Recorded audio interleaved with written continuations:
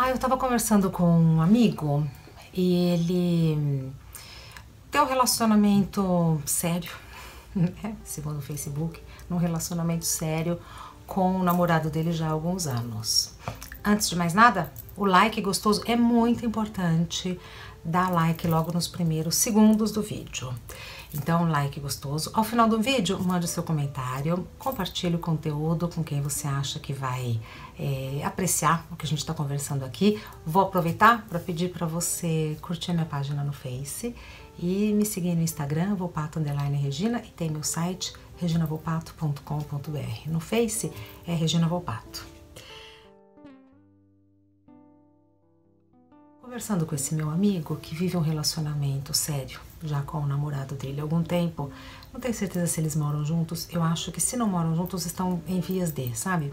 Um passa bastante tempo na casa do outro e tal. Um relacionamento que eu observo muito entre homens e homens, mulheres e mulheres, homens e mulheres e tal. Relacionamento sério. E ele estava me dizendo que todas as vezes que ele tenta conversar sério, que ele tenta propor um diálogo com o companheiro dele, a reação do companheiro é sempre muito agressiva, com insultos, alteração de voz e que o diálogo nunca se resolve. Esse meu amigo muito apaixonado, né, apostando no relacionamento, não, ele é assim, eu não me eu não me abalo com os barulhos externos e tal, não sei o que, fui obrigada a dizer a ele: Meu amor, você está vivendo um relacionamento abusivo. No relacionamento abusivo, quem está enxergando, quem, quem está sendo abusado? Quem está sendo abusado está é como se uma parte é, da gente enxergasse, a outra parte não quisesse enxergar. Mas quem está sendo abusado passa por excessivamente ciumento, ciumenta, louca, vendo coisas, cobrando demais. É, é o chato, é a chata, é a que pega no pé. Porém, é, se, quando a gente vive essa situação, algo nos diz que não vai bem. Algo nos diz que a nossa felicidade não tá aí. E aí, e a gente fala, eu sei porque eu já vivi essa situação e meu amigo fala a mesma coisa, existe amor.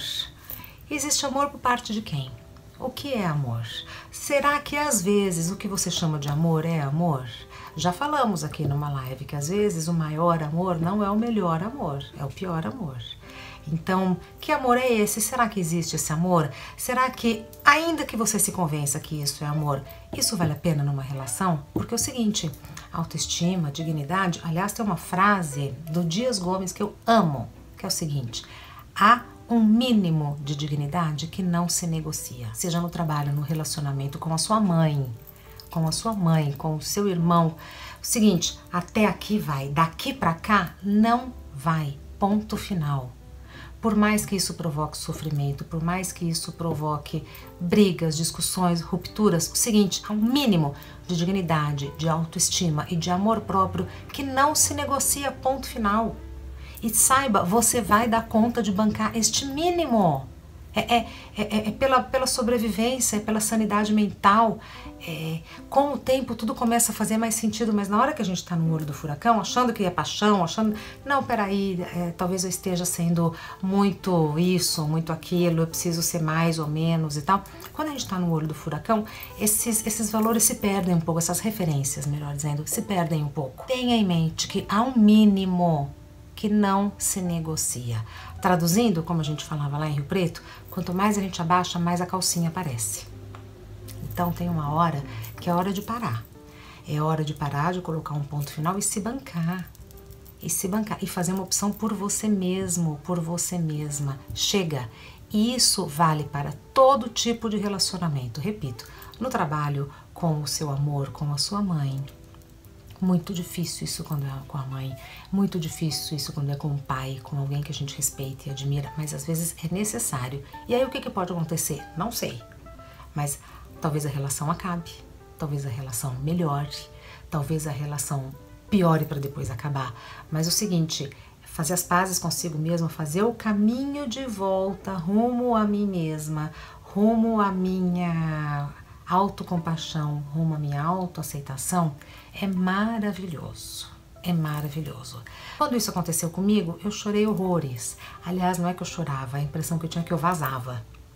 Sabe assim, eu vazava. É, transbordava de uma maneira que eu não tinha controle. Mas hoje, até essa sensação de vazamento faz muito sentido para mim. Vazei, vazei de emoção, vazei de amor, vazei de raiva, vazei, como a gente usa na gíria, né? Eu vou vazar, vazei. Tudo acabou fazendo sentido.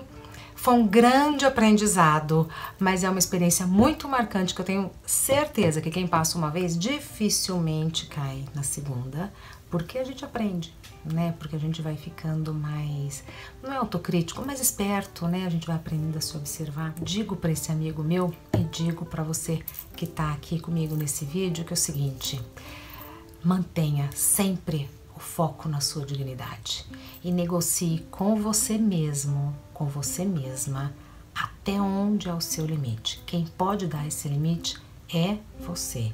E saiba, quando você identificar esse limite e respeitar esse limite, nada pode ser mais errado, nada pode ser pior do que viver um relacionamento abusivo.